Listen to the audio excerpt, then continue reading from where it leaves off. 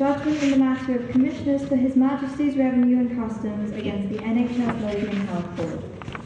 Lady Rose will explain the court's judgment. This appeal concerns historic claims to recover input VAT.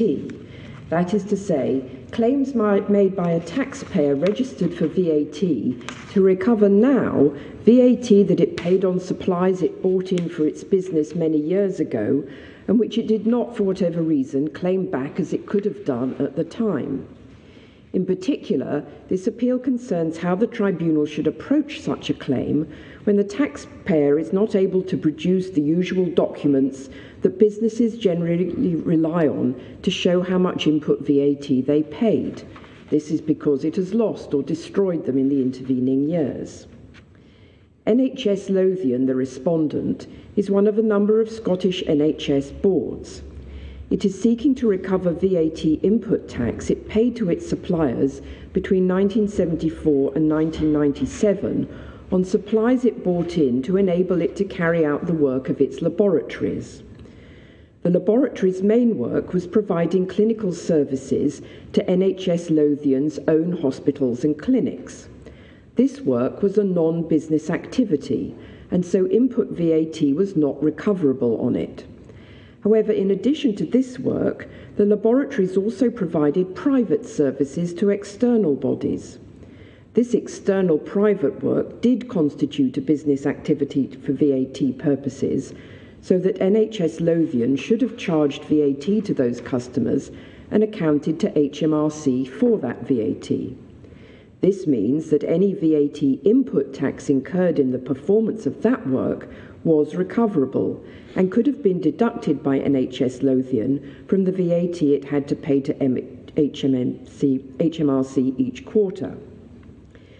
NHS Lothian did not deduct that VAT at the time because that was not the government's policy then. But it is entitled to do so now if it can show how much input tax it paid over those years. I will refer to the years 1974 to 1997 as the claim period. NHS Lothian makes this claim under Section 121 of the Finance Act 2008. That section opened up an opportunity for taxpayers to recover historic VAT subject to certain conditions. NHS Lothian accepts that it's only able to recover a portion of the VAT it paid on supplies for its labs business, that proportion being the proportion of the work that was business activity for private clients rather than its work for NHS hospitals and clinics. NHS Lothian does not have a full set of VAT records for the claim period. This means that it could not quantify either its exact VAT claim or demonstrate the split between the laboratory's business activity and non business activity work. So, in order to calculate its claim, NHS Lothian took the percentage of its activity that was business activity for the year 2006 to 2007, and then it used this as a baseline figure for the earlier claim period years, assuming that the same split applied in the years covered by the claim period. The taxable percentage of overall work for the laboratories carried out in 2006 to 2007, which was business activity, was 14.7%. So that was the figure that NHS Lothian used to work out the amount of recoverable input tax for the claim period, subject to some adjustments for particular years. HMRC, the appellant, rejected NHS Lothian's claim. Its reasons for rejecting the claim were various, but the one relevant to this appeal was broadly that the method NHS Lothian used to quantify the claim was insufficiently precise. NHS Lothian had not provided a satisfactory basis to show that it was reasonable to assume that the percentage split between business and non business activity in 2006 2007 was also broadly correct for the years in the claim period. NHS Lothian appealed to the first tier tax tribunal against HMRC's rejection of its claim. The first tier tribunal heard evidence from people who had worked at the labs over the claim period and also from the accountant who had worked out the 14.7 figure for 2006 2007. The FTT dismissed the appeal, finding that the evidence NHS Lothian relied on was too vague to be reliable. There were no primary data, such as account information recording the relevant work carried out by the labs. NHS Lothian's witnesses were not really able to say how much work they had done which counted as business activity for this purpose.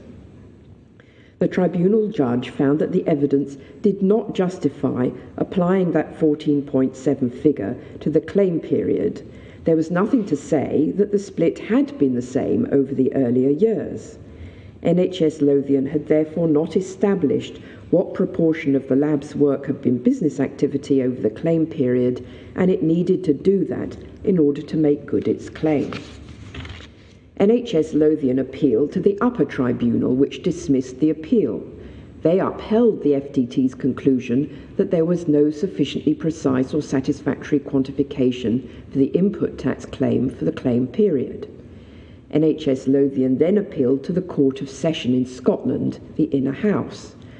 That court allowed the appeal, and HMRC now appealed to the Supreme Court. The Supreme Court unanimously allows HMRC's appeal. I will address each of HMRC's four grounds of appeal and the corresponding reasoning of the Inner House in turn. However, before I do so, it's necessary first to address the Inner House's description of the factual findings in this case. The Supreme Court finds that the Inner House misinterpreted a key aspect of the first tier tribunal's factual findings. The Inner House thought that the FTT had found as a fact that NHS Lothian's balance of business to non business activity was essentially the same over the claim period. In the Supreme Court's view, however, the first tier tribunal did find that the kinds of work done were the same over the period. For example, testing swimming pool water or ice cream for bacteria. But the judge did not find that the proportion of NHS Lothian's business to non business activity was the same. In fact, the FTT said the evidence it had heard did not adequately establish whether the proportion of business and non business activity had changed over the claim period, nor did it show whether this proportion had changed in the 10 years between the end of the claim period in 1997 and the 2006 2007 year from which the 14.7% figure was derived. The first ground of appeal concerns whether the Inner House erred in its approach to the standard of proof in historical VAT input claims.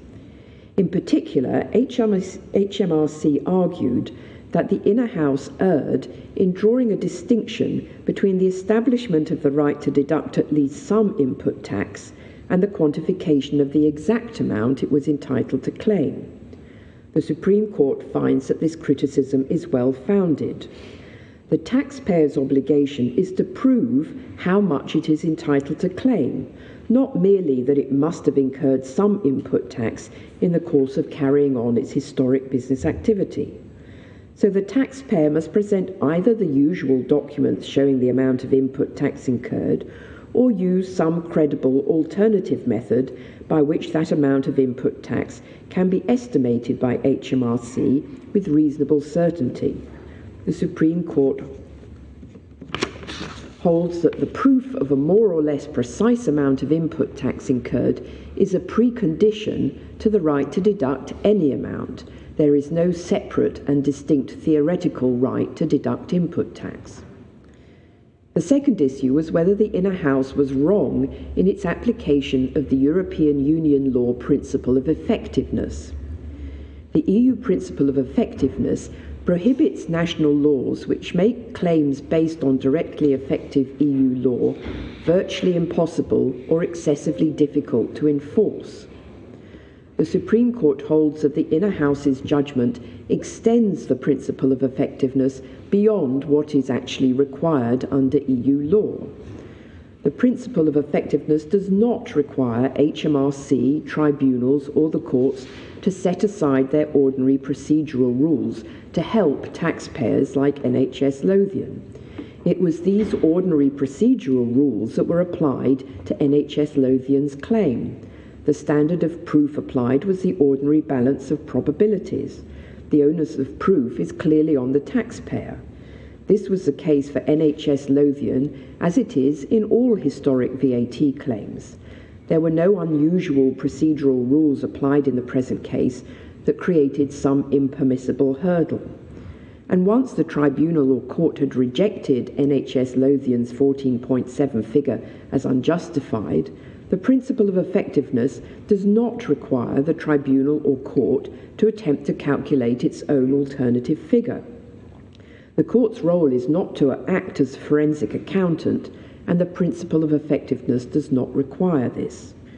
Therefore, the Supreme Court holds that there was nothing in the approach of HMRC or the reasoning of the first tier tribunal that made NHS Lothian's claim for historic input tax virtually impossible or excessively difficult, and so nothing that infringed, infringed the principle of effectiveness.